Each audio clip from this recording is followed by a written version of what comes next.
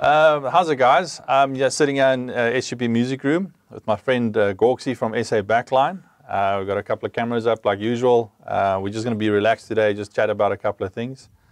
Um, first of all, thank you for coming through. Well, giving us your Absolute, time. absolute pleasure. A much needed thing, I think. Yeah, I mean, for, from us, we've we've been doing a whole bunch of stuff and and um, some good conversations with musicians, with technical guys. Uh, obviously, my perspective is staying technical from the sound side. Yeah.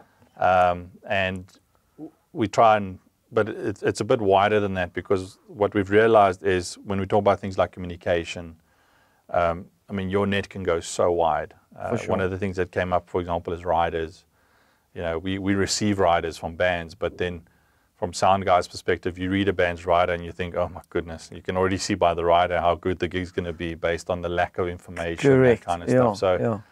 Uh, we'll get to all that kind of stuff. Uh, but first of all, just, I mean, we've been, you probably won't remember this. I remember the first gig we worked together on. The first gig we worked together. The on. first gig that I was actually working on. The only, the earliest one I remember was at His People's in Cape Town.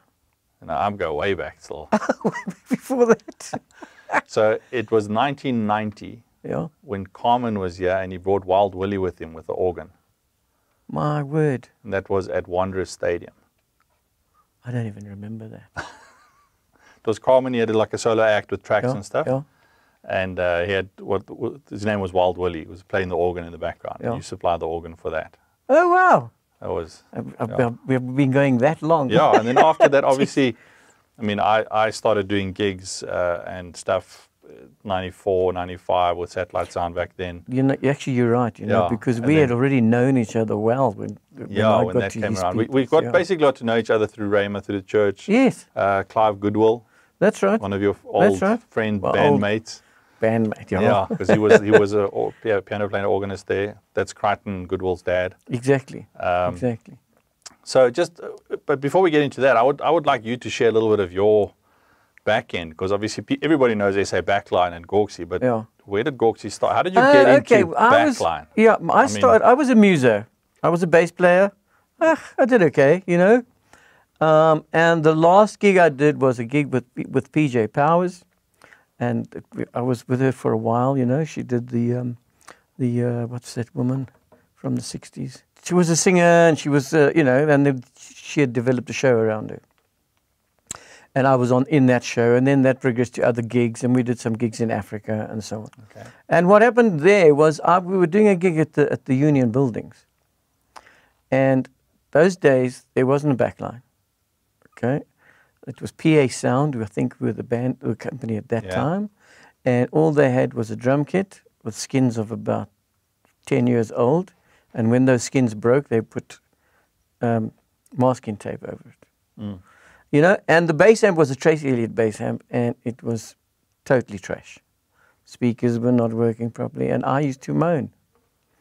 And my old friend John Mack was doing monitors at the time, and I started shooting my mouth off. You know, how can we play with this? You uh, know? And he said, "Shut up, Gorksie. Why don't you just start a backline company?" And it was a joke. Yeah. And that was it. And I thought about it, you know. And after having gone overseas and tried to and tried to crack it, you know, I got into a good band at that time.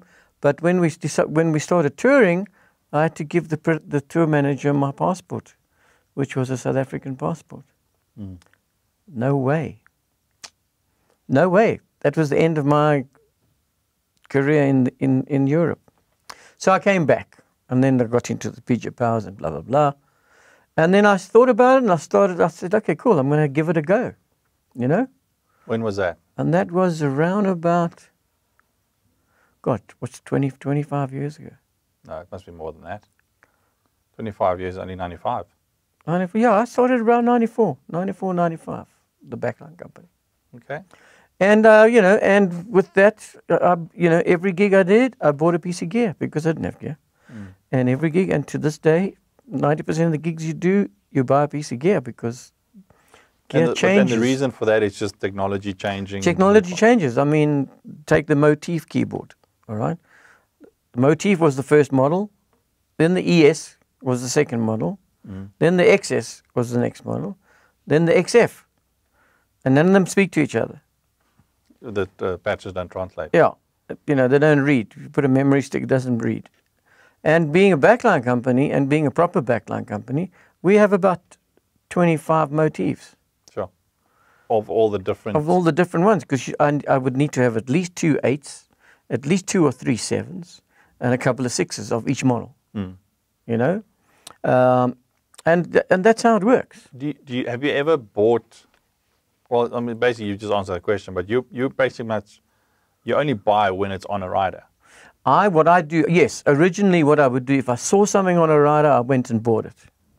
Okay, I learned a little bit of an expensive lesson, but what I found after that is when it appears on a few riders, hmm. then buy it. So, but now, how do you handle that transition when you get a? Because what happens with the typical production company, you know, because there are a couple that have bought mm-hmm. backline, mm-hmm. um, and this is a conversation that's come up with a couple of the musos as well. Sure. I go and buy a kit, bass import two, guitar import two, and keyboard in 2018. Sure. In 2019, that keyboard especially is no longer on the riders. Correct. But that's what I've But invested up to 100,000 Rand in a couple yeah. of keyboards. Yeah. So when a, when a rider comes through, what tends to happen would be phone up, listen, this is what we have. Would you be willing to play on this? And if it's decent, often you do get a, a um, little bit of leeway, depending on what the gig is. You know, festivals and stuff, obviously we get away with Yeah. a lot. And also it depends the- on the muso actually. yeah, depends on the muso, depends on what he wants to do. I know that uh, if you speak to guys like Lebo now in, in the gospel scene, or even Brendan Ross when he travels Right, Blue and Blue, yeah. he's by nature a prepared guy. So he prepares his patches, prepares all his stuff. So when he puts a keyboard on a rider, it's not just oh that'll be nice to have. It's part of who he is Correct. in terms of translating, Correct. You know, his performance. You know, if he gets there and it's not what he's asked for, then he's got to spend time recreating stuff. If there was a phone call saying, listen, we can't get one for this gig, he comes prepared in the mindset at least. But it's communication. Yeah. We spoke about that last week a lot, where it's, you have to have the communication. So, Sure. Well, I mean, it's uh, if you. I mean, you said it earlier. I mean, you get some riders which are not riders. It's it's just a, an equipment list of sort. yeah, But if you take that what the, what you, we're talking about now and you take it to the nth degree, um, the US is the biggest example of that. Okay, is I would say that 99% of the gigs that I do, which have American keyboard players, they do not use stock sounds at all. yeah. The patches and They stuff. come, yeah, they come with their sticks, and they load their sounds. Okay, As, and in conversation with a couple of guys in in that area in the US and so on, it's actually frowned upon. If you're a keyboard player that say orders an XF8 Yamaha and just uses the stock sounds, it's actually frowned upon. It's hmm. like what? Because you've not done your homework. I mean, where's this? Where's the creativity here? It's that kind of thing. Yeah. You know, or like in your industry, hmm. when you do a festival, and a, a prop, we'll say a, a proper festival, the engineer before you will flatten the desk before you get there. yeah. You know, and the probable I mean- reason is you don't. He doesn't want you to use his sounds. Well, I mean, there, I've had a conversation about that, me and Adrian, I think, in Morris as well, where, Yeah. you know, when if I've done a mix on a console and another guy says, Can I use your mix? I can say yes, but everything changes except the mix. So it's actually useless. You actually shoot yourself in the foot. You're better off just starting well, from scratch because the band changes. precisely. Even if it's the same kit, the drummer dynamic, everything No, changes. So, absolutely, absolutely. um, and on keyboards, I know a lot of the guys save their patches on your keyboards, and you tend to not. I mean, you upgrade when they need upgrade.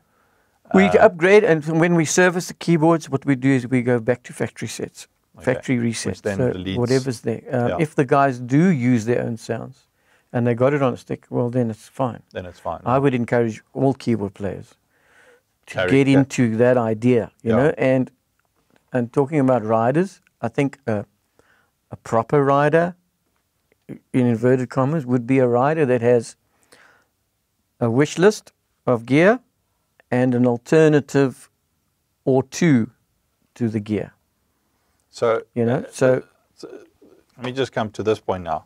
So you've worked with internationals, Yeah. and you, you've stated, and they get very. I've seen international riders, and I've worked with them. and They Yeah. get very specific, yes, and you know, even to the the type of throne on the drum kit. Oh yeah, oh You for know, sure. th- Yeah, yeah. Four-legged, three-legged, adjustable, No everything. question. And it, and if it's not right, it's a big problem because I mean that's you know if a guy's touring and he's doing two, three hundred shows a year, you know he doesn't want to readjust and re-adapt every single time. He wants Sure. to walk in, sit down, play next. Sure. And he wants it to sound the way it the way he hears it. Because Yeah. if he's doing ten shows already, that's what he wants to hear. Yeah, so even cymbals. I mean, on Yeah. drummers, you know, sizes, types, all that kind of stuff. For sure. For sure. Um, t- skins. Yeah. Um, the thing is, you know, the problem about that is, is once you've been exposed and doing, doing, let's see what I do, okay? Because I would say that the backline company is that interface between technical, which would be the mixer, the, the front of house, the, all the, the monitors and everything, production, and yeah. the musician. yes. You see what I'm saying? So, you know, uh, those companies that buy some gear, it's fine that they buy gear because they're, they're in it for money and they want to make money and it's easier. Hmm. But I think it's a misnomer to say we were backline. We do backline. We have some backline would be right because, you know, for, from my experience, the interaction with the musician, hmm. because my job as a backline person or a tech at the time, okay, is to give the, the, the, the musician the facility to be inspired because you, it's a creative thing. So y you cannot be creative if your attention is stuck on the sound of this thing which is wrong Yeah, and you're or like- you're not happy with. It, just, it becomes a distraction. You know, so the techie's job really is to actually service the musician to the point where he can create. Yeah, I love the way you said that because I mean, even in using a lot of technology from a sound perspective these days, a lot of guys, you know, I set up, for example, control switches and function switches Yeah, that yeah. do a lot of stuff. And people go, so you're not actually mixing anymore? I said, no, well, I've set up all that so that I can get creative. Exactly. If I'm stuck in doing 20 things and oh, you know, I can only do so much at one time. So I'm using technology to free me up to get creative. And if you if you haven't planned correctly, if I haven't communicated correctly, then even with the technology in front of me, I can still fall over because I'm distracted. Totally. So Totally, having a communication plan, having the right techs on the stage, you know, because Yeah, backline yeah. techs are not just another sound guy that's No. got nothing to do. You know, okay, well, Sure. your, your drums. Yeah. You know, if you're a drum tech, you should be able to play, tune, set up, Absolutely. you know, and have a, a- an educated interaction with the drummer, not just Yeah. stand there and wait for yeah, him. a, You- yeah, a good interpretation. You, You- know, I mean, if he goes, whatever the signal is, as most drummers would have that kind of signal, like Yeah. any muso would go up or down, or you know what I'm saying, in the mix. And th- that's important. yeah. That's so important. And and and what what I've what I've found, which is a bit of a, I mean, we've all had this, especially locally, and I say that locally in South Africa because what happens is, guys don't often get opportunities to have to send a rider. Number one, Yeah. you know, so if you get booked by a band and they say, well, what would you like, or what's your rider, then guys sort of tend to like, hmm, go on the internet, what's the latest, what's the greatest, put that on my rider. So you don't own it, but now you've got an opportunity to be on stage. And if it's realistic to the gig, Yeah. I get it. Yeah. But we, Yeah. we get this with wannabe DJs a lot, where we've got to rent in the top of the range Panasonic uh, uh, uh, I know Pioneer exactly. kit, and then the guy doesn't know how it works. Exactly. You know, and, Exactly. and we've had my techs show the DJ that's Yeah. requested the gear Yeah. how it works. Yeah. You know, and, and I've seen that with backline as well. A guy asks for a new montage, for example, Yeah. and then sits behind it, and it takes him. He doesn't. He's not played it before. He doesn't know how it works. You know, Especially guys that have played the motifs before, and then the, because there's no more motif. yeah, Okay, now there's the, the montage. So, as guys have done it in the past, it's like the, there was the ES model, and then the XS model comes out. So, i.e., musician would say, "Okay, I want the XS," because it's. but the, he doesn't know the, the difference between the two, you know. Yeah. And the and the jump from the from the the mo- motif to the montage is it's a different keyboard. well, they, that's a new generation It's, of a, keyboards. it, it- it's not similar. You know what I'm saying? Yeah, It's- yeah. And that's where the well, thing I, breaks I've down. realized over the years, if you're a Korg guy and a Roland guy and a Yamaha guy, the the interfaces are so different. They are. You know, so They are. Korg guys like Korg because it's familiar ground. So even Yep. little changes, you find your way quicker. Yep. And then I give you a Roland, and you're like, you probably know what you want, but the navigation of this of the Yeah. GUI and all that is quite And they're quite equal. tricky. They're they're seriously equal in terms of what they're capable of doing. exactly. You know what I'm saying? I mean, let's let's talk about uh, action. And guys will ask for weighted and unweighted. What is the the the when you what a true weighted keyboard? You know, A true weighted keyboard would be a piano, correct. and the, the weighted comes from the piano. Okay, From the and actual- from the- the, actual note action. of the piano. Yeah, Yes. the weight. Okay, so on an 88, which is generally a weighted synthesizer, okay, they try and and try and duplicate that feel. Yes. Okay, So it's the pressure, but there's the pressure, mechanism the- to have like the- yeah, it's, it's, actions. it's how, how hard it is to push, I suppose. yes. if you really break it down, as opposed to the to the synth keys, which are the soft keys, and the the advantage for the soft keys is that you can move faster, unless you're a concert pianist. Yeah. But you can do those riffs and you can do those things Yes. easily. Okay, But- and that's the difference. I mean, a, a guy who's playing synth wouldn't be able to perform on an on a weighted keyboard. So, but a, a, a guy that's a weighted weighted keyboard. For I know, for example, I know a couple of pianists slash keyboardists who, if you give them a motif or a Korg option, they would choose the motif, and they'd say the action is better.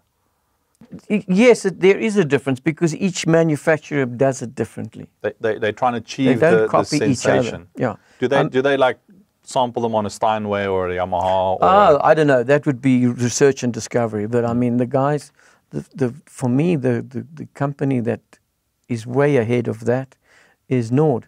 okay. And Nord have been going since the 60s. Mm. Okay, they started off out there. A lot of guys think Nord is only like in the last. no, Nord is it's Nord is, is quite a quite a company. It's for my taste. Mm. And they've continuously researched and they continuously. Think. I mean, you want a Hammond sound. The, the C2D is the closest you get to a Hammond in any synth format, any digital. We're going to do that tomorrow, just by the way, for those who are watching this tonight. Um, we've got Lungelo coming in tomorrow, and Gorksie's actually just delivered a, a, a Hammond for us, and he's going to demonstrate the Hammond itself, the, the, two. difference yeah. on the sliders and all that. And we, I'm going to do a little technical on the miking of it because we obviously do a lot of live recordings. Um, and that, that's a key. I mean, the, the, the Hammond system, conjunction with the Leslie and all that, is a Cannot be duplicated. It's very difficult to duplicate. Yeah. That's, I'm, gonna, I'm doing a project at, in my warehouse currently. I'm fixing up my Rhodes pianos. I've Mm. got f- five of them in pieces. and I'm just waiting for some stuff from the US, and they're going to be so perfect when Awesome. they're finished, man. Well, you, you just said it now. Your warehouse. Mm. Tell people what is in your warehouse at SA Backline. Oh, my word. Is it a double garage? It's no, it's a little bigger than that, I'd say. I'll, maybe if I talk in terms of relative amounts of gear. Mm. In terms of drum kits, there are about 35 drum kits on and, shelves. and, and define a drum kit. well, the drum do you, kit do you buy a drum kit in its sort of full flexible manner? So you buy mostly. if if the kit is manufactured with an 8, 10, 12, 14, 16, 18, do you buy the whole kit? Yeah. So that the drummer can then choose what which ones he wants what I would do is um, not all the kits have that because not all of the kits you can get all that Yes. stuff. But the ideal world is to have the kit with, with all the sizes. As that would be your first. So you would have an 8 inch rack tom, 10, 12, 13, 14. Okay? Mm. Then you would have 14, 15, 16, 18 floors. Okay. Okay? The odd numbers are not really relative anymore unless you're playing rock and roll. Okay. Okay? So you have a fusion kit, which is generally 10, 12, 14, with a 20 or 22 kick drum. Okay. Then you get the rock kit, which is a 12, 13, 16. That's the, the basic format for manufacturers. Yes. Okay. What we do is when we buy a kit, we will buy extra. We'll buy definitely an 8 inch. We'll definitely buy an 18 inch. Okay. And then the kick drums, I like to have at least a 18, a 20, and a 22 For a particular kit. for for each. Say like take a Yamaha Maple Custom. Mm. Okay. We have for for the one I'm thinking of is an 8, 10, 12, 13, 14, 16, 18. 18 inch kick drum, 20 inch kick drum, 22 inch kick drum, 24 inch kick drum. Sure. So it's a, it's it's, it's the whole one or kit. two snares, obviously. Snares is a different game altogether. You know they, you don't always get a snare in the finish of the kit you make of you buy that you buy. Okay. You know, yeah, you'd get t- uh, a so let's say 10, 12, 14, 16 with a 14 snare. Which okay, like that would be the standard stock snare, Yeah. right? Because it, it's Uh, not a shell design in that. Yeah, kit. you get like I mean they'll make a basic like this kit. This kit should have a, a, a, a Yes. that same color, which would be a standard one. Yeah. Or a DW broken glass will have a 14 inch DW broken glass snare. Hmm. But it's not really the snare, you know. This, I mean, guys like Musos, they're very specific. I mean, we have, I mean, we have 35 drum kits, to say, okay, but we have like 80 snare drums, Sure. okay, because the depth, the width, the finish, you know, it's. I mean, it's it's crazy. I mean, a Pearl Masters, a Pearl reference snare, has got about 13 ply Sure. wood. It's, it's That's uh, I'm sure it'll break the snare stand before before the muso can break the snare. yeah. You know, um, so that's the, the one model. You know, then you get um, I don't know spawn. You know, or, or Mm. the it's a very thin shell. Yeah, with the wooden rims. And, Yeah, you know, and that it's, that shows plays the dynamic. You know, of the of the thing. Yeah. You know. So while we're talking about drum kits, there's this whole thing about you know the guys that are endorsed, Right. whether it be with Yamaha, Yeah. DW, Yeah. Sonor, Pearl. Yeah. When you get a rider from one of those guys and he asks for the spec of what his endorse, endorsement is, Yes. can yeah. you fill that? Uh, gen- generally, yeah. If you if you if you're worth your salt as a as a as a company, yeah. You know, I mean, uh, if when we work, let's say, uh, and it's a, D- a DW endorsement, well, firstly we don't charge for the kit, okay? Okay. You know, because we get we get a good price or a good deal with with the company. So some companies they will send us a kit as a, So as, as an endorsement kit. Mm. Okay, but generally they don't. Okay. Depends on the market, obviously. Well, it depends on, on where we are. You know, in South Africa, we are not, we are not on the world, uh, what the world route, if you like. Yeah, You know, we're, a- we're a detour. you know, and uh, I mean, we we still got a ways to go. Mm. You know, I mean, John Henry's in England. They're a backline company, tech company, to such an extent where they are being allowed to endorse on behalf of companies. Oh wow. So they will come across a drummer and they will go, "Hey, Mr. Drummer, you, you're a hot drummer. I think you you're going to go places. Blah blah blah blah. We at John Henry's are going to endorse you with a a Pearl drum kit, a Pearl endorsement, okay, mm. and then John Henry's take care of it with Pearl, And Pearl recognise and that. Pearl will recognize it on their recommendation. Okay. So I would love to get to that point, you know, because I So- think endorsements in South Africa are a little. A little odd, you know. Yeah, I mean it's it's It's sort of I mean, not for the right I'm, reason. I'm on the receiving side where Yeah. someone will just say, "How do you check that?" I mean, someone says, "I'm endorsed. I have to play a montage." oh, look, no. I mean, you, if you email the email the, the manufacturer, they'll they'll know. The Mm. artist relations, they'll that, that's all recorded. Okay. You know, but a proper endorsement is should be the value to the to the product. Correct. You know what I mean? I mean, it's like DW. You don't get an endorsement easily with DW, okay? And even if you do, you will either get only a hardware endorsement, or you'll get a shell endorsement. Okay. Okay, and only the real big boys get the whole deal. The full kit. you know. And when you are endorsed by DW and f- you have a full endorsement, when they put a put out a line of drum kits, they will send you one. That's Yeah. a proper endorsement. Yes. But what's the exchange? Exchange is you got to appear for them. You got to do workshops for them. You got to product, you know, push the product. You got to wear the the, the, the, the, the clothes. you Mm. got yeah. all that stuff. You know, you got to talk about it. Correct. That's what that's the exchange. You know.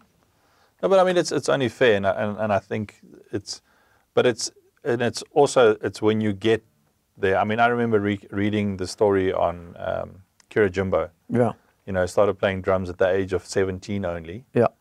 and at 21 was full Yamaha endorsed, and he was I think it was the first Yamaha endorsed drummer.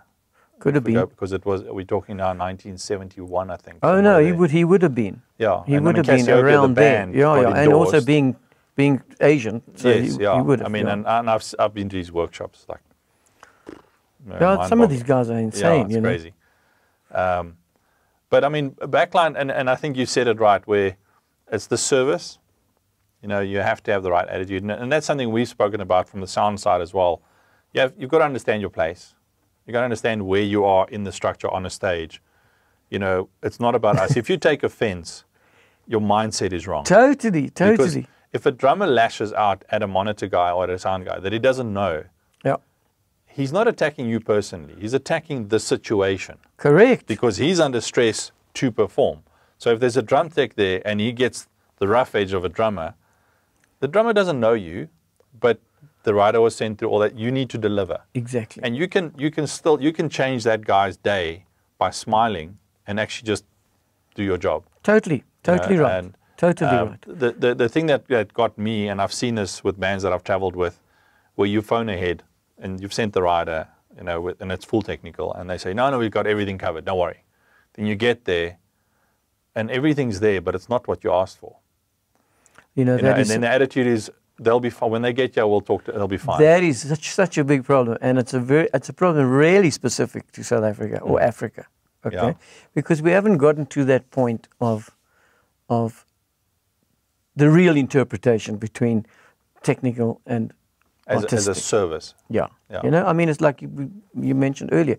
If the drummer is, is shoots shoots off at, at, at the techie or at the monitor guy, Hmm. The, for me, the only reason he's doing that is because it's not what he wants.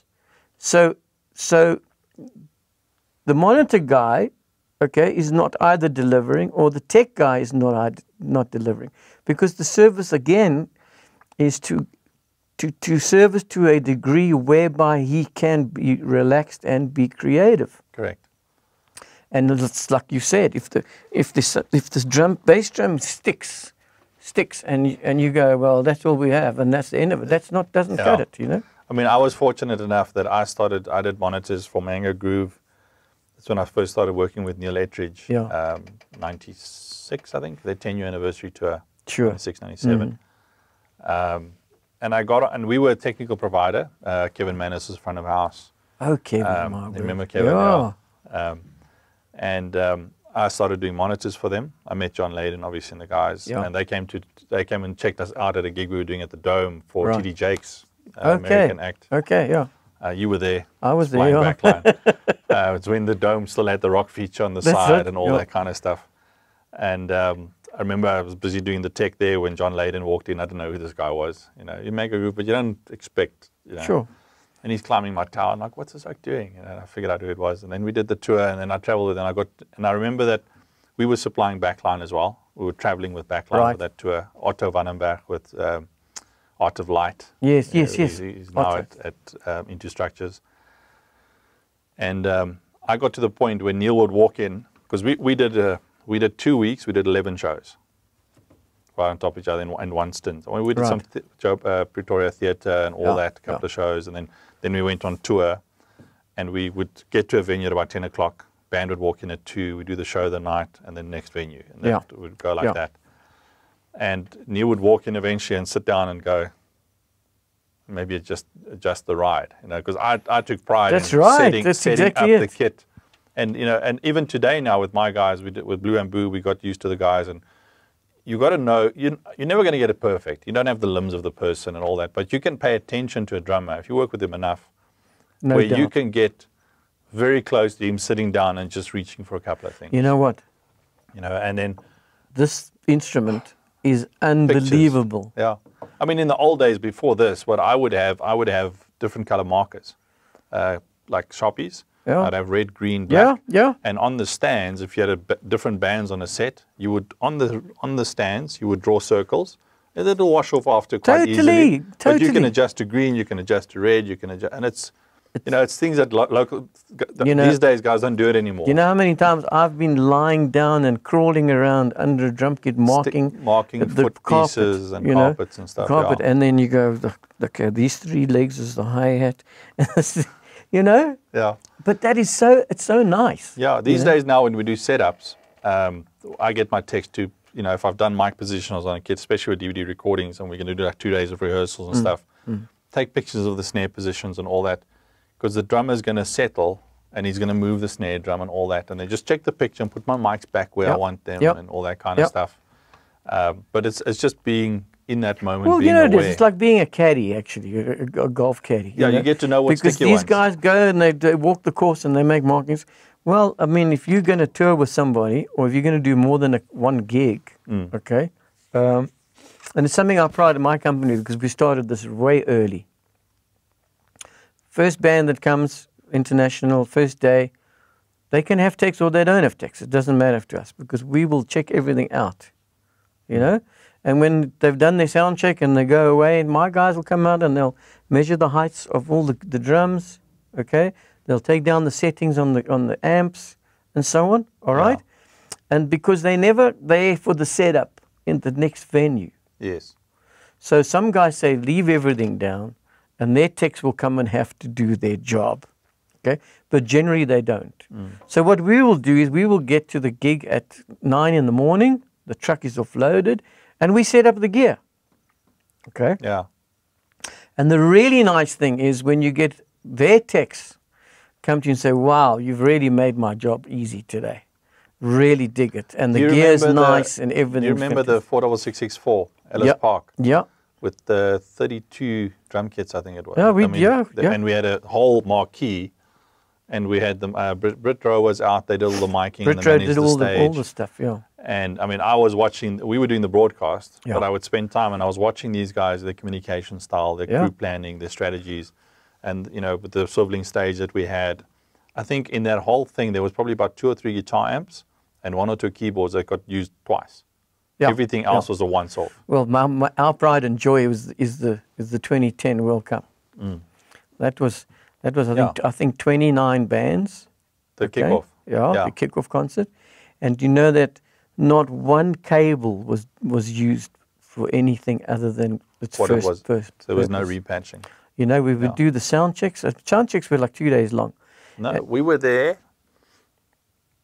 because we did the broadcast for that. Oh well, then it was yeah, yeah, So we had the two studios. We were up and down, and you had the two stage A and B. yeah. Um, I And, mean, and, that- and the B stage was actually more just lo- more more local more kind of local, but Alicia Keys went there, and the Parlotones Yeah, were there. There yeah. was some. There, when there Yeah. was some nice No, it big was stuff. good. It was It very was good. And then, uh, but I mean, we went from Black Eyed Peas to Shakira to Alicia Keys. To, and I think you had your C7 there as well for John Legend. Well, let me say, we had what uh, the procedure was this: we come in, we do say, okay, that band Shakira's doing a sound check. We'd set up the thing, we'd take the time, they would everything put to be placed, everything on a riser, and everything fantastic. Okay, Mm. they would do the sound check. Okay, a tarpaulin would be thrown over that gear, and it would be go and be stored. But Yeah. but the nice thing about that is the first band sound checked last. yes. So they had it actually in a running order.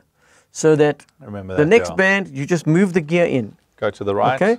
And the list comes out and, And it gets struck stri- and it does it everything. and pack it away. And that was it. Okay? Yeah. And I mean, I pride my, I think I know my industry pretty well. Mm. Okay? But I have never experienced four to five minute changeovers. like that. I mean, No, that was from the band going, Jung, last chord, thank you, bye, they leave the stage. From that moment, five minutes, the next band is playing. No. I I've remember never that. seen that. I mean, we, we, we ran, we, it was so quick. We ran two studios. We built two studios backstage. Um, and um, Toby Alington was there from the, from the, um, from the UK. Yeah. Uh, the music group, uh, at, oh, not the music group, the control room, which was managing the production. Their office is just next to us. Right. They'd booked him to do all the broadcast. Yeah. And then at some point, because I was I was helping him, I would set up, and then he would mix, and then I would set up, and he would mix, and Yeah, we yeah. got to the point where it was so quick that he's like, "Okay, you do that one, I do this one," and we just split. and he stayed where he was, It's I stayed where I, lovely, because it, it wasn't time. So I, I ended up doing stage B, he was doing stage A. We sent it through and worked like a bomb, you know. It's fantastic. I remember the funniest thing was because Alicia Keys finished her set, Yeah. kept singing her song, and um, what's their name? Uh, it's a rock band from Soweto, young guys. Um, can't remember their name now, but that she walked and sang a song with them. So she walked from stage A Oh, right. two-stage okay. B. Oh, yes, yes. And we had her road manager running delay because he was he, he'd had his finger on, on the effects on her vocal Yeah. on the console, but now she's walking to the other stage. So he was like, and then he had to run out, run to me. There's the delay. Keep Okay. going, and we actually, me and Toby planned it so that because it's a live broadcast. Of course. So we had no. Of course, there's no- We actually picked a vocal line where we would switch, Yeah. So that he would, we could switch between the two consoles. We matched it up. We had, it was Oh, two profile systems, so no one at home knew that we were switching literally from one technical to the next technical. Um, you know, and that that was great. I But mean, I isn't that enjoyed that. You know, when for me, that's what it is. If you're gonna, Yeah. whatever the job is you're gonna do, do it better than you think you could do it. You know what I'm saying? I mean, I mean, I learned a lot on that gig. We did. That was the first time that we used Dante in a big way in, in Yeah. the country. Yeah. I, I, I had underneath the stage where no one Right. could see. Yeah. I had uh, Yamaha set up there with Dante recording the backup, and then we had another five systems, Pro Tool systems. We recorded 384 channels for four hours, my word, non-stop, with no glitch on all of our systems. it's lovely. We had ASC students there. I had Gray uh, there. We had Ross there. We had a bunch of guys, and you know, it was technically it ran smooth. You know, and then because control room was right next to us when the when the broadcast finished, Yeah. he came out. It's like he's a phone call from Sky, from da da da da. Everybody's like, Yeah. no, know, it's happy. fantastic. It was I a mean, great production that. But it was. But the thing is, what bring me back now? We planned that. How many how many months ahead of time? We were running schedules, channel lists. I was working with Jonathan. Uh, with uh, it wasn't Jonathan. It was Dave Tudor at Gearhouse. right. We were planning schedules, production lists, channel lists with the guys from the UK, back and forth, back and forth, back and forth the whole time. So that by the time we got there, there was no more discussions. It was done. No, no, it's it's that's it. You know, You I mean, it was, and everybody knew exactly what to not do. you're not once the gig starts. There's no learning. You've got to know. Yeah. You know, you've and, got to. and you can get to that point even with local gigs by just, even if it's just me, if it's me with a little thingy with the three piece band, I can still get there and be relaxed and everything's sorted. yeah. Yeah. Communication. I mean, I travel the country with, like with Blue Bamboo is a good example because they're a high end band. You're talking about Denny Lalouette, Marlon, Brendan Ross, Sure. Sydney Mabundla. Sure.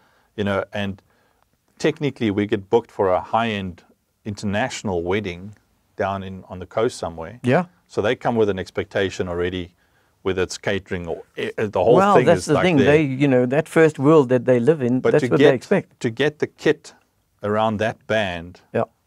somewhere on the beach in East London, you know, Yeah. is difficult.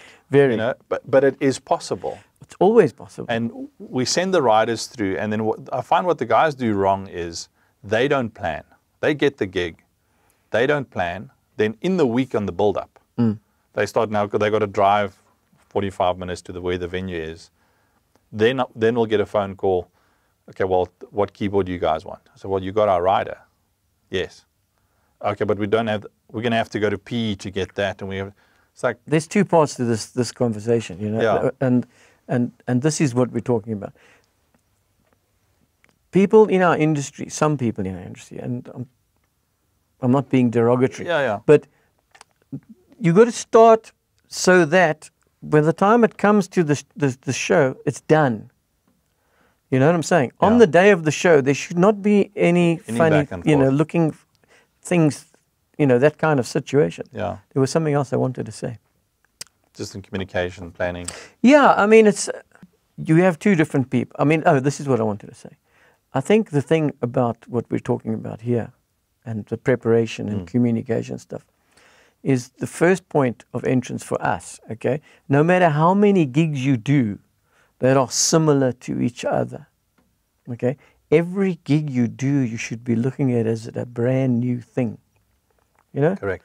and and, that, and that's the why. nuances change. Yeah, and that's I mean every there are so many differences between each gig, mm. you know, and that's what it is. I mean, you know? what one of the common things I get on the sound side, whether I'm uh, traveling with Tien Jordan or whoever, Yeah, then I'll phone the production company or the, the company that got the gig, I got booked for it, and then they got my rider. And if it's a two piece, you know, I've got I've got different riders, and it's contextual to what I'm doing. sure. You know? Yeah, And then they'll they'll defend by saying, well, but last week so and so used it and they were happy. And so and so is like, yeah, but I'm not so and so, and this is not so and so. For me to pull off the is it. gig, true to the client who booked me, you know, because there's a reason I get booked. You know, there's a reason Absolutely. I'm traveling with the band. Absolutely. And there's a reason why every band member in the band is then doing their thing. And for order for them to fulfill that, they need support. You know, they need their, their tools. And it's comes, I mean, even sound desk. I mean, you might have spent 30K on a sound desk.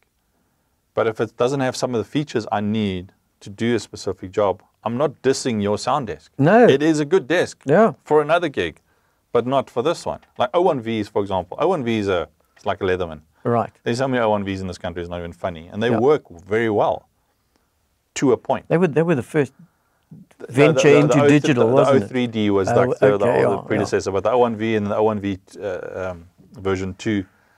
And then, but if I'm doing Blue Bamboo, I need six stereo in-ear systems out of it. Yeah. You know, Yeah. and I want to run in effects. It's only got Yeah. four. It's got four omni outs and a left right. Right. Uh, But then the guy puts he buys an expansion uh, Behringer expansion to get more outputs, but it still only has eight auxiliaries. Well, that's It's see that goes back like- to what we're like- talking about. I mean, it's like a lot of times I would get a, a, a question from either be a client or or a tech company. I mean, just diverse a second. There's I know of a tech company that I don't even know if they exist anymore, but their attitude was to this is to backline. Now, we will give them what we give them, okay, and they must deal with it. And I, and I would I've, go, I've heard that many but you times. know, I don't know why you want to do that because your livelihood depends on servicing those people. Mm. Because you're a tech company doesn't mean you dictate to the market. You know? Yeah. So that was the one point, okay? But a lot of times I get a question of, listen, this guy wants a a, a Kurzweil PC88 piano, okay? But we've got a motif. The motif is like newer. Why should there be that? Why does this guy want this kit and that guy wants that kit and this bass player wants this amp and and I just say, you know what?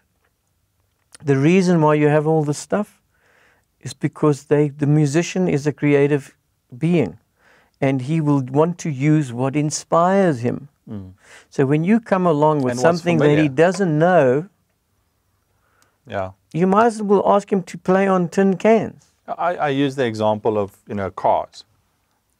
If I put you in a from a BMW into a Volkswagen Yeah. 1960s, Mm. you can still drive. Sure. You know, if I if I go the other way around from an old Beetle to a new BMW, you can still drive. You might switch on the wipers instead of the flicker, and you have to adjust the chair. Yeah. These days, it's not even a keyhole, and but nothing takes away from the fact that you can drive.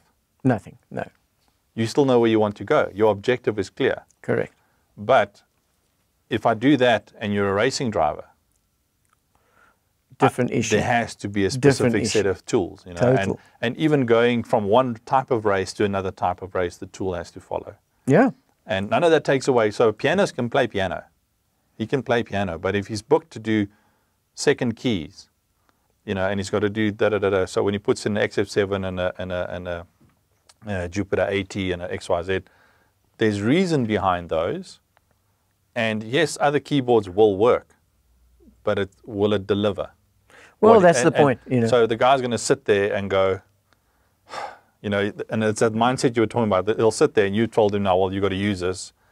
And instead of losing the gig, he's going to sit there and for half an hour, instead of being relaxed and getting creative for the gig, he's trying to find and stuff, what's going to happen in patches. this in when he's playing? So, but that's what it is. I mean, it's it's you cannot dictate to the person who's delivering. Yeah, I mean, I use a I use a very stupid, crude. I've got kids, so you know, if you watch the movie Shark Tale, there's a point in the beginning of the movie where he goes to the boss, which is the blowfish, and he asks for more money or a raise or something. I can't even remember what. And the boss takes a scroll and he rolls out the scroll with all the fish that starts from, from whales all the way down. Right at the bottom, there's plankton, Yeah. plankton poop, and then him. it's like you're at the bottom of the list. Yeah. You can only go up, you know, and that's Yeah. what inspires him. But you Yeah. need to understand where you are on the totem pole That's it. we might be good sound engineers, but in an event or at a gig, we we have to service, we have to deliver, and understand that the folk, the audience didn't come because I'm doing sound That's it. or I'm using a, an, a, an Avid console. That's you know, there, there's some techies there that appreciate that, but they came for the artist on stage. They came for the experience for the event. So everything that we need to do needs to be towards that outcome. And you know, I, I spoke about that you know, if you've got the wrong attitude as a sound tech and your perspective is out and there's an artist that's about to go on stage and you have the wrong discussion with them, you derail them. You know, that reminds me. Or you come, Yeah. or someone's, Yeah. I mean, and I've seen this happen. Someone that's a nervous artist, and they they exist. Sure. They stand there, or a nervous guitarist or something, and then the techies, and a young techie, and I've, I've taken guys to task on this, Right. where they're standing there and then they'll have, they, they just chilling because now the next thing's going to happen. This guy's about to walk up. Then you say, oh, this afternoon we realized that that amp wasn't working properly, so we twiddled on it, but it should be fine now. That is like, The, exactly. do you That's like realize dropping a bomb in do? their lap. Exactly, because now you've just derailed that guy completely. Yeah. You know, Yeah. if he comes up on stage and asks you a question, you answer it short, sharp, discreet. You know, you need to appreciate what they're in for. You know, and it's like if what you're about to say is not contributing positively to the situation, shut up, That's it. quiet. That's it. You know, if, they it. want to talk to you, they'll talk to you. Um, I think also your attitude on introduction is important, you know? Yeah, and, and James said it on Tuesday so well. He says there's there's a there's a point where, and his what he's had to learn and what he's had to gone through is that point of, of empathy. You have to understand, and every muso is different. Yeah. Some guys are aggressive by Yeah. nature and they want you know you, In your face. and other guys are passive. They need reassurance. Other guys just need to be left alone. Yeah. And you, as a as a monitor guy, for example, you need to learn, figure that out with four guys on stage very quickly. The way I communicate to him, him, him, him, him is all different. Correct. You know, and Correct. from a backline perspective, the same thing. If you throw that bomb, well, they must just use what's here. Well, I mean, I've got my when I started, I was a bass player. Okay, and then I Mm. You're still a bass player. Oh, well, I still play. It comes to get you every now and then. but um, when I started, I was a bass player, and I had this backline thing I was starting. Right, I didn't have a company. I was just doing backline. Yeah, Okay, and every for the first, I mean, it must have been. I'm a quick learner, so it must have been about three or four months. All right, on every gig, I would be setting up as a musician, but not from this perspective of of being able to interpret. I had this attitude of comparing. So the bass player would come up and I'd play, and I'd be sussing out the bass player as to whether he's worthy or not you know Yeah. or i would i would insist on picking up his bass to show him my chops okay yeah, big mistake yeah. big mistake you I- know I- I The- remember they on don't on want to know about that I had a technician ten years ago. Nice guy. Yeah. Really worth his salt. Yeah. Really works well. yeah I had to take him in aside and I said, "Dude, calm down," because he's having, he's telling stories and getting so he's get, becoming distracting because he's he's so passionate i know and he's a muso, so he's asking questions about everything and starting conversations. Like yeah. the guys are trying to do their stuff, and we've got a Yeah. time. Like there's a time and place. yeah You know, there's it's Yeah. just calm down. I'm not telling you change who you are, but adapt to the situation. no that's what it was Yeah. it was and you know and one of the guys a really nice guy from england he was a monitor engineer okay and i was and i was doing- doing my thing you know and it's off-putting to the musician Mm. because it doesn't matter if you're better or worse because i mean who decides on what's better or worse but Yeah. it's not about that he's doing that gig because he's the right guy for the gig Exactly. you know they're not going to come and fire him and employ me because i've got better chops that's not going to happen and Yeah. this monitoring guy came he said listen mate i understand what you're doing but don't do it because they're not interested in that they're interested in you helping them to the point where they can play Yeah. Make them the better. and that was the biggest lesson i learned in all the years i've been doing that Yeah. and I took the change. I made the change. When I'm doing a backline, I'm a backline person. Hmm. It doesn't matter if I can play or not. When I'm on a- stage or in a studio or recording, I'm a musician. Backline doesn't matter. You should, and that's the biggest lesson. We had, the, I mean, I've had this discussion as well where I've, I've often been in this situation, you know, me, Marius, Adrian, a couple of hours where there's international gigs Yeah. and we get booked as front of house. And it's a festival, so there might be one or two bands with no guy, so you'll, you'll mix those. But most of the bands come with their own engineers. Yeah.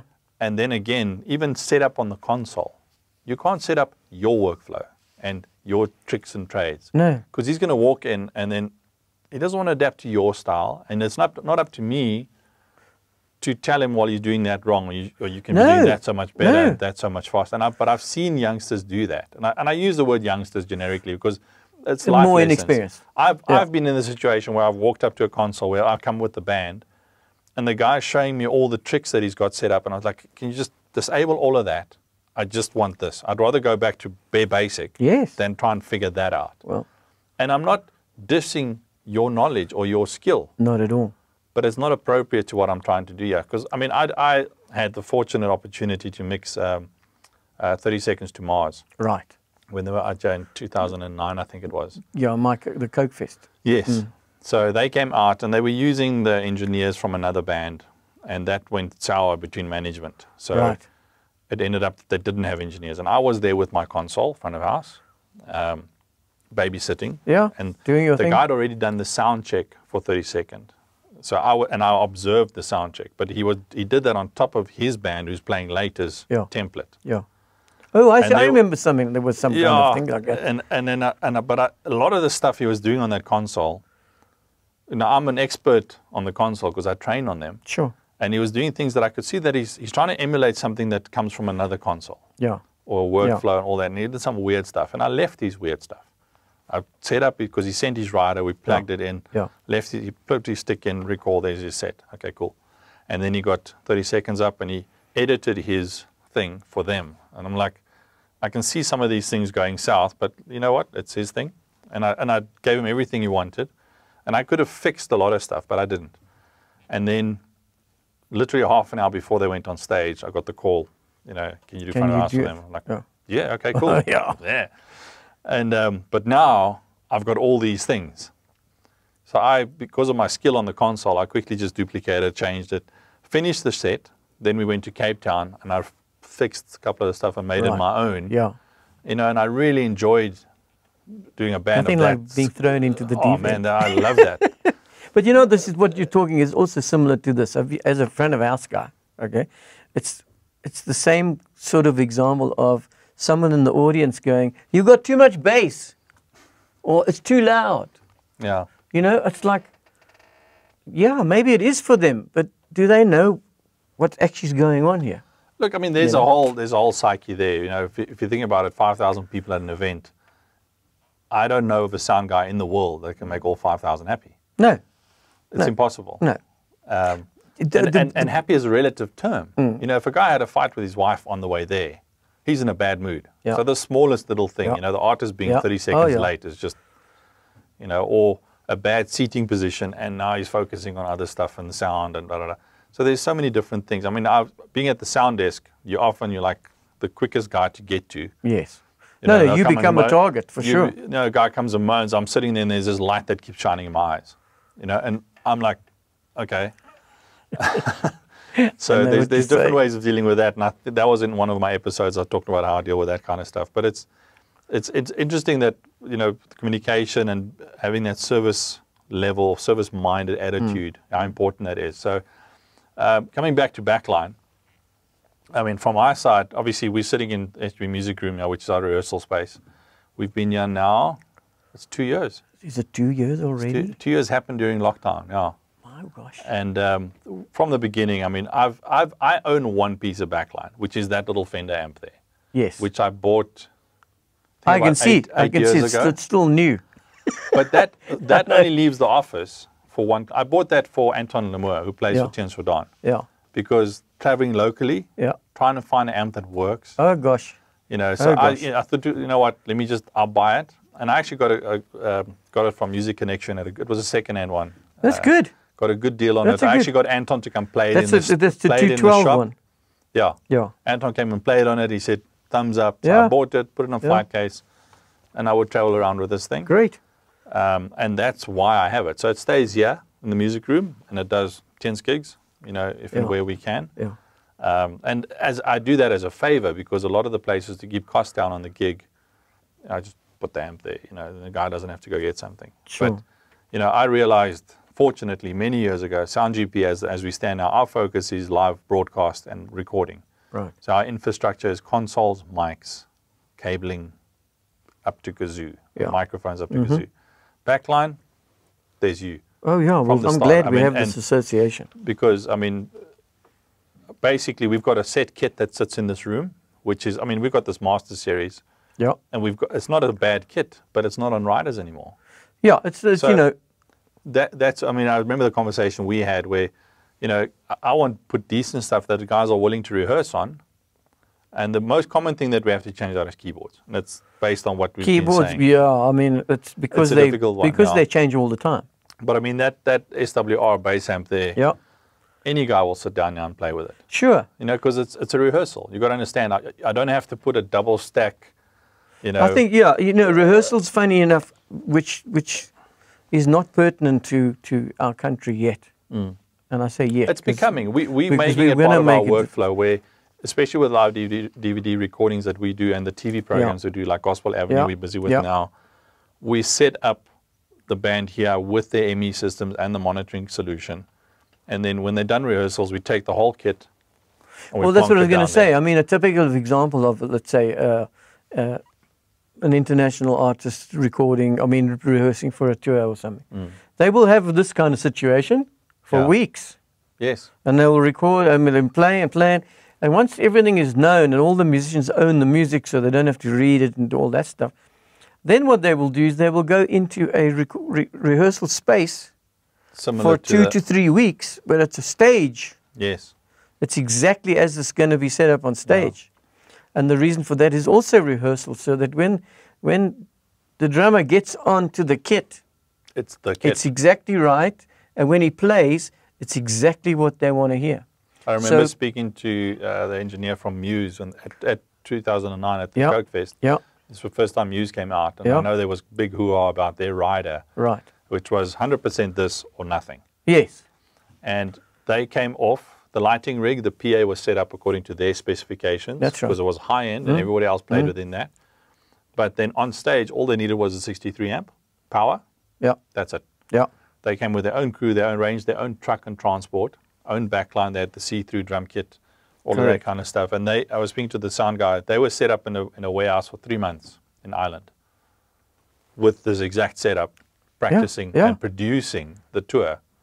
But that also then means when they go traveling, there's no room for any change. No. Everything has to have 100% because they're running out of time code, and it just works. You know, That- and they sound the same worldwide. Well, that's the, I mean that's the uh, that's the, the goal, Mm. you know. But I mean, not even big internationals. There's a there's a handful of those kind That of can do international. that.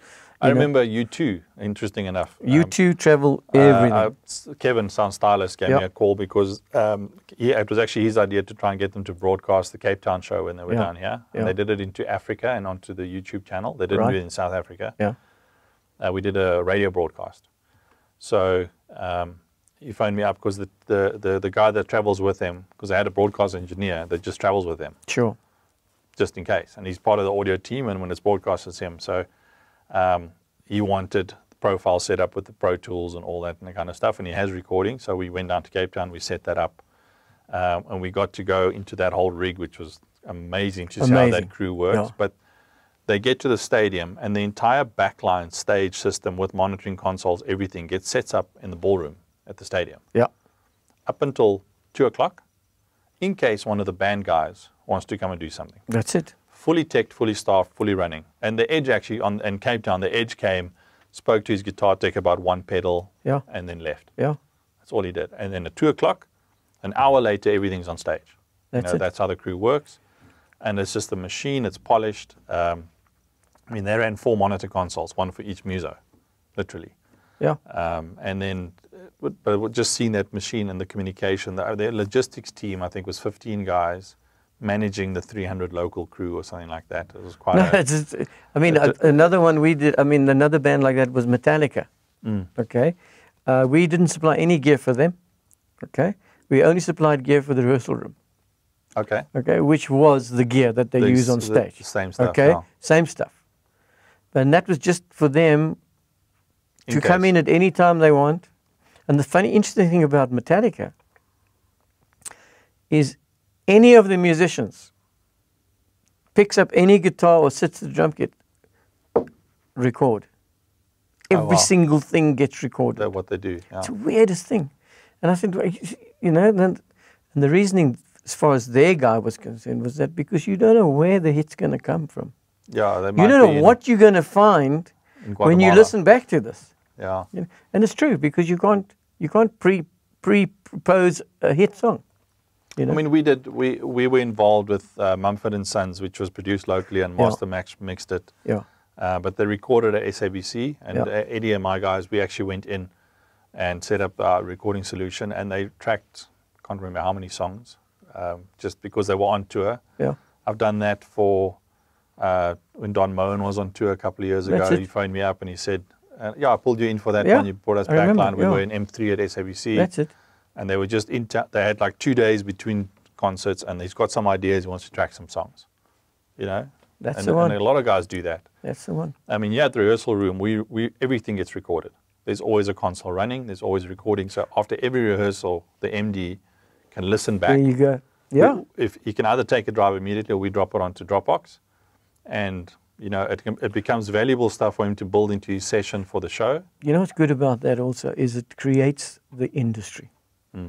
You know, um, Well, we've, we've tried to set a standard. We're trying to raise the bar in what the musos can start expecting, what it should be like as a muso. I mean, I shouldn't have to struggle with in-ears. I shouldn't have to struggle with this. I shouldn't have to struggle with waiting. You know, because that's a big thing I, I push with our guys is call time, setup time, line check time, muso time. You know, the musos are called for a six o'clock sound check. That means they're probably going to arrive just after five. We've got to be done way before that, so that Yeah, when they arrive, our focus goes to them. well, that's it. You know. You know, Yeah, I think when I you know when I talk like that, it's like um, just di- digressing a little. Is I get a question: Is why do we have to? Why does this band have to have this drum kit and that band have to have that drum kit? Or why do we have to change all this equipment?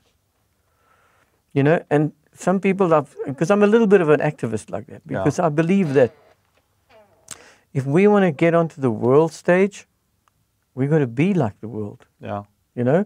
And going back to what inspires you the band this and that but more than that let's say we're doing a festival and there's only one set of backline. Okay? Yeah, or there's two drum kits in the same set of backline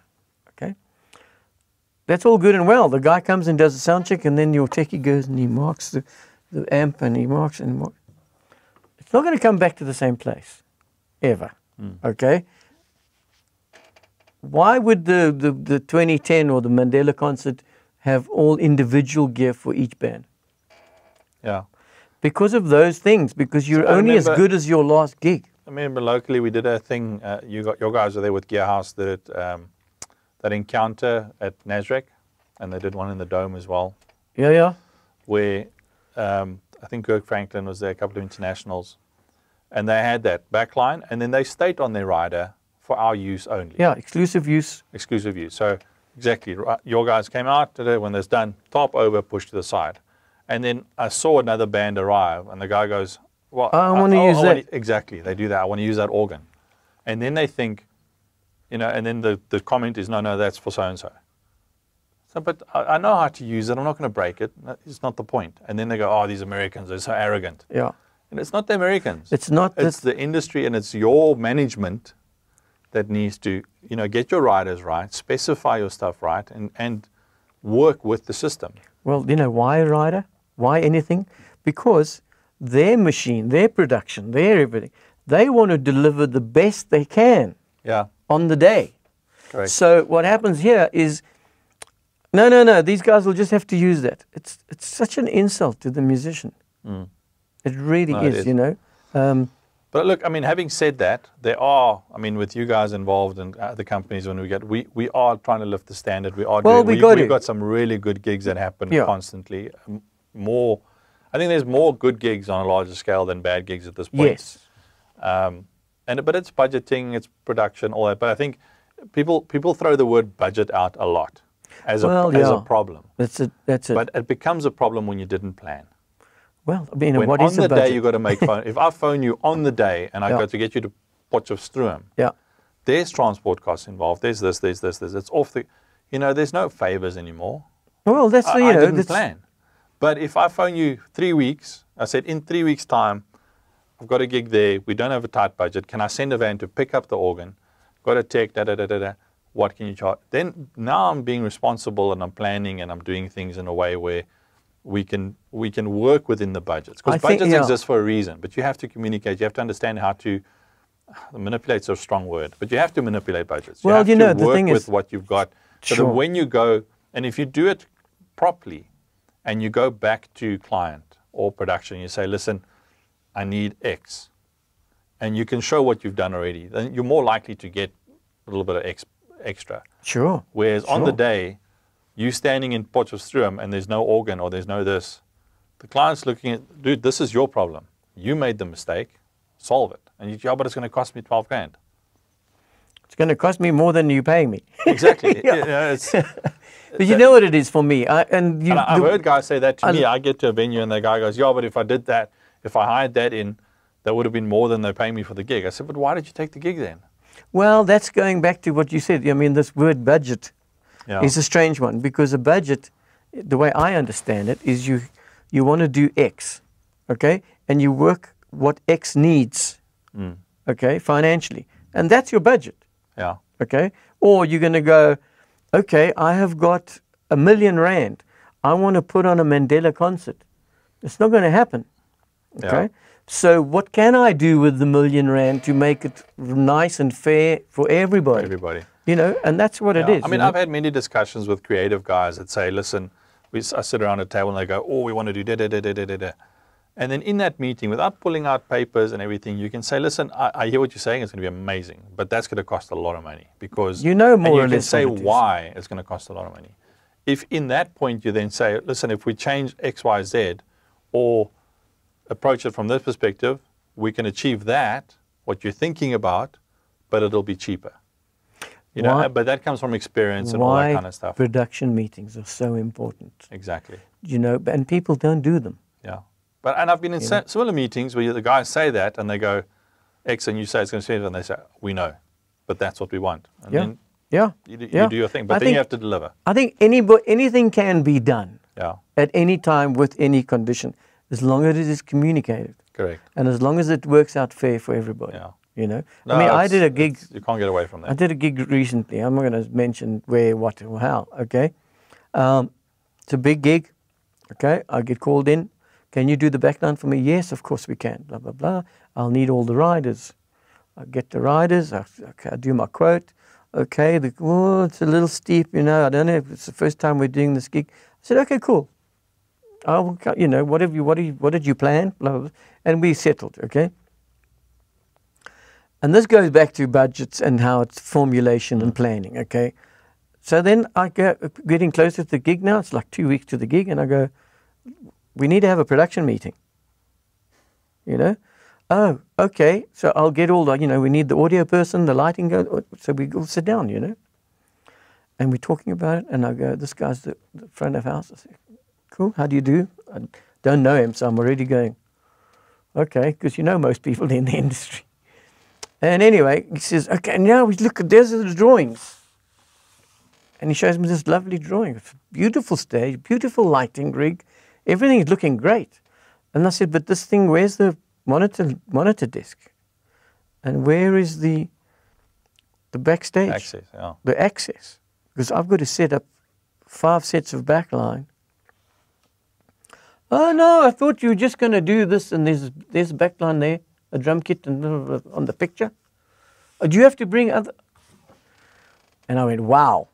Yeah. Okay, so then I explained. I said, you know, yeah, this is how it's got to go, and blah blah blah blah blah. And setup day, which is like four days before the gig, I go to the to the venue, and I eventually have to get hold of the the build stage build, and I said, no, what we need is X. Mm. Oh, but there's no budget for this. You know, I phone the principal and I go, you know, we can't deliver unless Yeah. because we've got to clear the stage and then put up the new gear. It's like a, it's like an inexperienced. And we solved that problem. Hmm. Okay, but however, the real problem came when on the first day, the first band was sound checking. It was great. Okay, so then they finished the sound check and we removed the gear and we bring the new gear on. And how many how many lines does a stage normally have? 40 lines, 35 lines, Well, these whatever. days you've got a 64 act as a starting Okay, point. so- yeah. And there were the PA techs, and, and I really, my heart bled for them. Not one cable was marked. Hmm. So it was like, okay, the drums, bass drum. No, that's not it. Yeah. Okay, on the night, two bands performed out of five, and they had to call another PA company from somewhere else to come and solve the problem. On the night, I know what gig you're talking about. you know what I'm Yeah. saying? So uh, planning is so It- no, important. it is, and I so think important. you know it's it's something where, and this, I mean, time and experience comes into it. When you've done something, you've done it, Yeah. and you learn, and Yeah. it becomes a valuable contributions. But you also shouldn't become a know-it-all, and trying to dictate. You know, because there's there's it's like it's like James was also saying, and, and I said it. You know, I can teach anybody a skill, but I can't teach you an understanding. If you're an arrogant, unhappy guy that no one wants to be around, doesn't matter how good you are. You know, you might get some work, but there's a lot of people that don't want to work with you. I've, Yeah. I've developed a nice little sort of definition thing for ego. Mm. Okay? Because essentially that's ego. Yeah, yeah. Okay. And ego dictates that you know everything. So the problem about knowing everything is you can never learn anything. Correct. You know? You shut off. And in our industry, I mean, I learned this early on, and you did, I'm sure. Okay. The most valuable asset you could have is to ask questions. Yeah. Because you can't learn if you don't ask a question. Yeah. And the things change so quickly. You know, and this example I've just given you is exactly that. Yeah. You know, yes, I am a front of house engineer. I'm a technical company. I've got a PA, but we do corporate gigs. It's a totally different ballgame. Different market. You know, Yeah. you can come with your approach, you can come with your approach. tablet and you can mix from your tablet if it's if it's a corporate. Yeah. You know, it's not ideal, but you can. You know, mm. Because it, but there's time. I mean, and the same that's a- gig. I mean, the, when when when the poo hit the fan, okay, and the, the the the solution company came down and said, "Where's the monitor desk?" Oh no, it's in the case. We didn't we didn't think we would need it. you know, I mean, it's, Yeah. I mean, look. and, and it's not those people weren't wrong. yeah. They just weren't informed. It's, but it's like you say, it's communication, and I think there's enough. Uh, there, there's a, there's a between, and I've seen this with a couple of young companies Yeah. where they don't want to they show weakness by bringing in someone else or show Correct. weakness by Or outsourcing. Yeah. You know, if Yeah. you've got, if you've got, and I get this from my students all the time. You know, they say, "Listen, I've got three hundred thousand rand. What PA should I buy?" Like nothing. And they go, "What do you mean?" I said, "Well, where's, who is your clients? What's your business plan? Exactly. What are you buying it You can do a gig tomorrow by yourself without owning anything." Correct. What? I said, "Put that money in the bank, and build relationships." I mean, even here where we are, we've got Fogtech down the road. We've got all these companies Yeah. right around us. Yeah. We, we were at their door the whole time. I'm not going to buy DJ gear. I'm not going to buy this. I'm not going to buy PA. Correct. I've got relationship with guys. I can do any event. I outsource. Right. But I work in my business plan. You got your profit margin, and you do. I do what I do well, and we've built what around what we've got based on what our clients want. So we've grown similar to you within a sphere of a niche market. Correct. Um, but that also means I can now become a source for other people on microphones and that kind of Sure. stuff.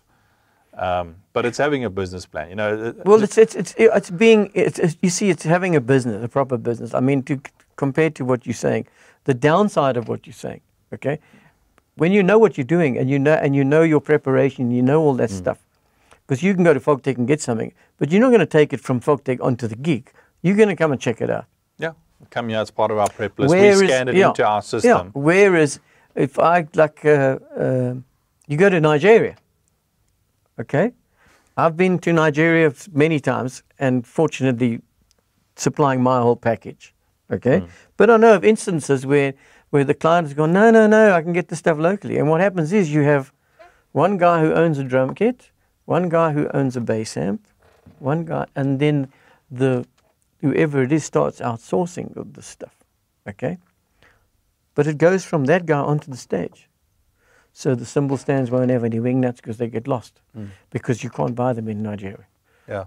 So you end up the- with, with, the- with, with trash. C3 on the keyboard doesn't work properly, and You see what I'm saying? So um, reputable places and companies like we have here, there's no problem really doing Yeah. that. You know. no, no, it's true. And um, I mean, when I've done like the the we did the the experience in Nigeria, Yeah. which is the biggest gospel concert Yeah. concert in the world. It's every year now for the last four or five years. It's five hundred thousand people plus Right. in the audience for twelve hours, with twenty two bands. You know everything from Kirk Franklin, Donnie McClurkin, Yeah, yeah, Don yeah. Moen. That's a big gig there. It's massive. And uh, Planet Shakers, I've been there with them. And there, but it's a British company with, uh, with guys running the, the, the, the, the team. Um, and you walk up, and as we walk onto stage as a band, the ba- stage manager meets us. Who are you? Who are you? Who are you? You? You go there, you go there, you go there. And there's a tech waiting for you. I go to the monitor console, and there's my file, the one I sent through to him. He talks me through it. Here's my frequencies. I, I, I travel with the radio mic, so a piece of paper, there's the frequencies you're going to tune to. That Uh, my technical setup takes two minutes, and I'm done. My band's ready. We do There our sound go. check in 20 minutes. We get off stage. We come back for the show. I literally walk up, plug my headphones in, do the show, and walk away. Mm. And everything works. But the team is organized. The team is planned. You know that that's an amazing feeling when you when you send a ride and you get there and like, you know, you go to Nigeria and you expect, and you get there like, but they've had to outsource it. You know. Um, but I mean, there's some there's some great opportunities. I think for for we, uh, there's got to be take home value as well. I think if anybody listening to this is, the theme is communication. Understand what your purpose is. Understand your skill set required to fulfill that purpose, and keep growing, keep learning, Mm-hmm. Sure. keep adapting. Sure. You know, have the right attitude, have the right, use opportunities that you get, um, and you know, guys that are watching this that are in positions where they can do riders and work with bands. If you don't know how to do a rider, you know, give me a shot. I've done riders Yeah, we bands. can. I mean, absolutely. I mean, It can help. You know, if it's I've I'd love got, to do I've that. got riders for local. I've got riders for travel. I've got ri- for different bands based on the fact that we might not get gear Yeah, and more, yeah. and that I'll have. I even still have on some of my riders. I have an analog option on consoles, you should. and then You should, if it's analog, yeah. I want X Y Z Yeah. backline with this, Yeah. and then but you know You see, I think uh, you know. Also, I think um, going along with what we're talking about, and if we're talking riders and that kind of thing, education is valuable. yeah And I mean, us technical people, I'm I gladly have any muso, any production for me how to set up a rider. yeah. You know, I'd love to. I mean, The, the thing is, the reason that's important is because you're the one that gets the rider. I'm the one that gets the rider. It's got to, it's got to read. You know, I, I get some riders which you can see has been set up by the hospitality and management, well, exactly. where there's a lot of detail about a bunch of stuff, and then the technical section is written in English, very basic, You know, or and you, it doesn't. uh, It, it, it raises more questions than it answers the- because they contradict each other. or the equipment list is, is, is gear that doesn't Yeah. exist. So we get a because they haven't channel list, we get a channel list, and we get a gear list. Yeah, It's like they don't that match. doesn't match. Yeah. You've got X, Y, Z, but where am I going to plug it in now? If I plug, if I do this, then that's not in use. So, are you using that keyboard? Oh yeah, yeah, yeah. So we forgot to, we've got the old channel list, or you've got the old gear list. We've changed. yeah. Well, I mean, I've come across. I mean, some bands, local bands, they use different musos for different gigs. Mm. You know, Yeah, so which is fine. they- that's fine. But then you have, have a rider whereby we, that's the ideal, okay. But we can use this and we can use that. yeah, You know, we want a Yamaha motif, okay, XF7 or 8, but we could use an S90ES, or we could use a montage, or we, whatever it is. Yeah. But you have one or two alternatives so that your gig is going to be great because the reason for the rider, the reason for the technical, the reason for the is so that the musos can play the best gig they can play. correct. Yeah, we, we we started with our guys. I mean, the first thing I do when I work on a production is a channel list. Yeah. I start with it, and we did this with the voice. Me and Yeah. Adrian and, and Simon, who sat with the channel list. Yeah. What's the final of the voice going to look like? Right. The final. Yeah. Well, this is almost a year before then. Sure. We drew up a channel list of the final, and then we had a column in there with dates. When is what going to be used? So when we set up for the blind rehearsals, mm-hmm. our channel list was still that channel list, but we only used aspects of it. Yeah. And as we grew to the next stage, to the next stage, to the next stage, all of us, when we said now we've got three BVs, it's like, okay, where are we going to plug them in? No, there. There, they're already there. we That's now got a live percussion. Totally you know, it's right. all done, it's planned, but it's it, but you you got to think ahead and think of, and it's outcome based. You know, so communication is key, and I think and and I didn't do this 20 years ago. Sure. 20 years Sure. ago was like, okay, I've patched the stage, let me go to the desk and write out my channel list. You know, because I was Correct. only oak there running around. it's all in my head. You know, Yes, I know. I mean, I don't. down and write. You know, Even, there's my channel list. You know, even you have gigs whereby it's, there's, there's multiple bands and it's not a big stage and Mm. there's no changeover space. Okay, I learned something from a, from the the Prince's Trust gig in England a couple of years ago, which I just saw on TV. Mm. And what they did there, similar situation, all big bands, all like Queen and all those, right? And they built the stage set, okay, staggered with all the gear on it, all of the gear. so they just walk to different positions. Okay.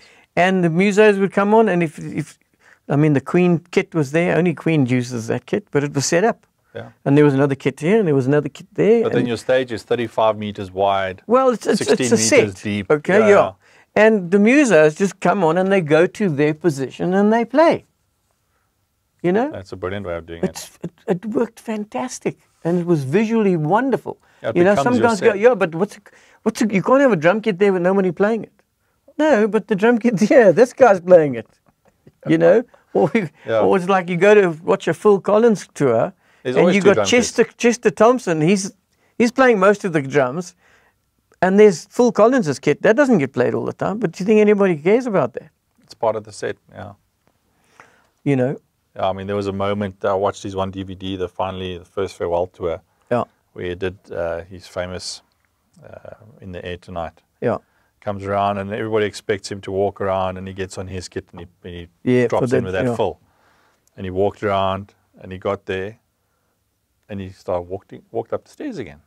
On the DVD, it's great. Everybody's like, Yeah. "Oh, so he's going to do another circle." You know, he's got to come back. He's got, he's got, he's got to end up on He's the got to kit. play the kit. Yeah. And he gets to the back of the set and he's up on the top and he's in the middle. And if you watch it on the kit, they, they had a, a drum kit come out of the ground, but quickly. hydraulic, yeah. It literally, he took a step and then as his leg, some before his next step was on the drum kit. And Wow. it literally just popped up. He sat and played. It was like Oh, the isn't that crowd mind-boggling? Because there's like he's walking, there's no kit, no kit, no kit, no kit, kit, sit Yeah. you know.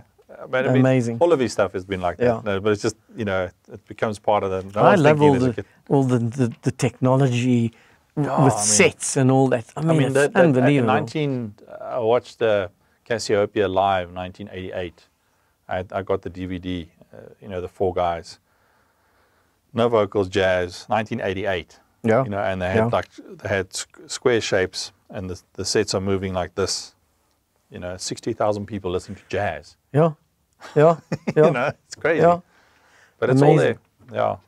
Look, I've enjoyed this chat. I think we're gonna we can sit here for the whole day, but we have to Oh we gosh, have to we finish can. at some point. Absolutely, we can. I'd Um, like to see us in South Africa get to a point whereby, i.e., um, England has, has, has Glastonbury Festival. It's Mm. an every year thing.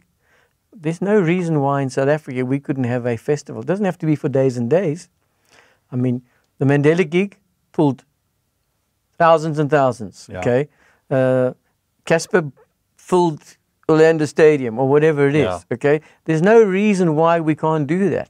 We've just got to get our industry to a point where Yeah, I mean, it people, runs people will say there's like lots of machine. festivals, but there's genre-based. Yeah, and also, you know, I think at the end of the day, you cannot become or put on a reputable festival of that sort, but whereby by making it cheap and nasty. No, know? true. I mean, I remember, and uh, m- uh, our ex-friend who's, who's passed away, Robbie Bailey. You remember the days when it was Yvonne Chaka Chaka, and it was in those festivals in so, in soccer stadiums with terrible gear and terrible stuff, and have thirty thousand people, and who would riot if, if one of the artists never arrived. Yeah. What's wrong with that? If we that those days can all come back, and everybody can do well, and everybody will be working, and we'll have an industry. Yeah, no, we're And- just waiting for anything to happen at this the- point. at this point in time. But the thing is this, Yeah. okay, that it's disappeared because people became cheap and nasty. You know, doesn't work. Mm. yeah, look, I mean, from a, from a business perspective, I've I've done gigs for free. No, where it's been a charity gig, there's been a Yeah. cause, there's a cause Yeah. behind it. You know, then I'd phone you and I'm saying I, I'm not charging. Sure thing. You want to come to the party, jump in, we do a thing. But other things, you, you cost your things and you have your costs out there. If you get underquoted, that's one thing. But when you get under, Yeah. yeah, underhanded, Right. that's a different thing. You know, that, Yeah. that's that's something that's. I think the education that needs to happen is is promoters need to understand that it's not a once it's not a, a you're not going to get rich doing one gig, yeah, you know. And I really I would love to aspire to that in Yeah. the future is have one thing, you know. annual thing. Every, comes. everybody's. I mean, the involved. WOMAD festival is going to be coming back here for the three years, another three years, okay? Because they do three-year cycles. Mm. And this year, I hope, and this time, it's, I hope it's going to be really good, you know. Yeah. I think we've got to call it quits for now. Well, thank you so much. I would have put my hand watching. across the table, but I won't. I'll just Yeah. knock. on the- Elbow, knock on wood. Thanks, Chris. Thanks That's for joining. fantastic. And, thanks just everybody from, else from, who's from listening. Sound yeah. GP's perspective, you know, our relationship has been amazing. I mean, And- I really yeah. value our, and we're going to go far on this. I mean, we've sure. been working well together. Oh. And anybody out there, if you're looking for backline, plan it well. Give us a shout. Give Gorks a shout. We'll put your contact details in the links. No problem. And if you guys need help with riders, and you know, or even wanting to know what's the difference between stuff, just shout. You know, we will we happily answer all your questions. And us, and yeah, we, we as a background company, we are here, or we're in existence because of musicians. Mm. And more than anything, any muser got any question about gear or how to do this or that, please call. Yeah. We would really love to do that. And guys are welcome to. You don't have to wait for a gig. No, If you want to see how the montage works, total. phone. rock up. Totally. You know, like I've got my one console set up there, and I've told a lot of guys, you know, just and I've had guys pitch up. They just want to come see it outside of the context. There's no Totally. stress. Just fiddle on it, play on it. I mean, I, I, um, I don't mind guys coming. I mean, come to the house or, or Mm. to the warehouse. We'll can set up a kit, to play. You Mm. know, jam. Come, you know, I don't have, we don't have a problem with that. You want to see how Fender Rhodes works? Come in. I'm busy working on them now. Awesome. You know, no problem. Yeah. You know, Cool, man. Thanks for joining us, guys, and we'll we'll see you on the next episode, and yeah. we'll probably have another chat. Thanks, everybody. cool.